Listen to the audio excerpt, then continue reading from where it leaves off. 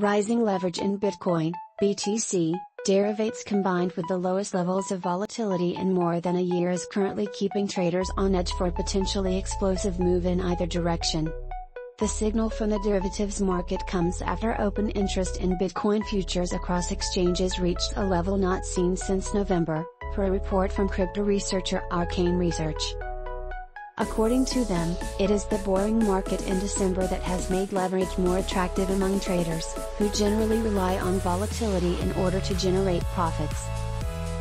The total open interest in Bitcoin perpetual futures is back at highs not seen since November, the report said, adding that leverage in one of the stablecoin margined Bitcoin futures contracts on Binance has doubled since December 5. The rising leverage and reduced volatility over the past month mean that the market seems ripe for a move, Arcane's report further said, noting that a bullish short squeeze is a plausible scenario because of neutral to slightly below neutral funding rates in the Bitcoin futures market.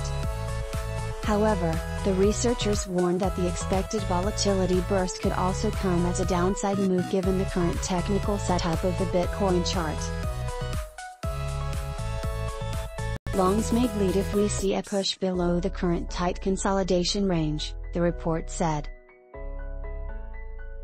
Meanwhile, according to a private note by analyst at Bespoke Investment Group, lower volatility could be the most interesting outcome for price action in the crypto market in 2022, Bloomberg reported on Tuesday.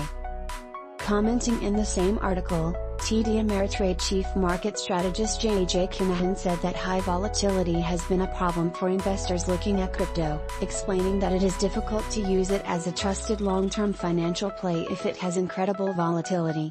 It just makes people too. At 1504 UTC, BTC stood at 46 US dollars, 609, down almost 2% for the past 24 hours and 2% for the past 7 days.